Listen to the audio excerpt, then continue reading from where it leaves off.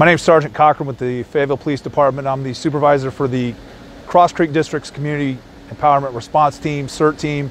Uh, we have a responsibility of just enforcing uh, violent crime, violent criminals, but also a, a, special aspect of just getting in the community, trying to uh, give the civilians and the citizens of the city of Fayetteville the tools they need uh, to have success. And we've our second phase of the initiative we have in Sunset Mobile Home Park, just in the in the neighborhood, with code enforcement, trying to hold property owners accountable, try to clean up this neighborhood, do the best we can for all these citizens here that, that, that deserve better. Uh, this, the first phase was a success, already reported on that before, and the second phase has been a success in that we've handed out multiple smoke alarms with the assistance of the Fayetteville Fire Department.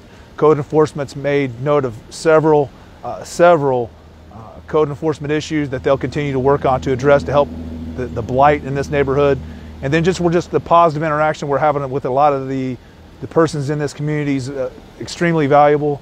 And uh, we'll continue to work on that. This is just the second phase of the initiative. We'll continue throughout the summer with different ideas how we can get in here and help the people. And then also address the crime that's occurred in this in this particular neighborhood.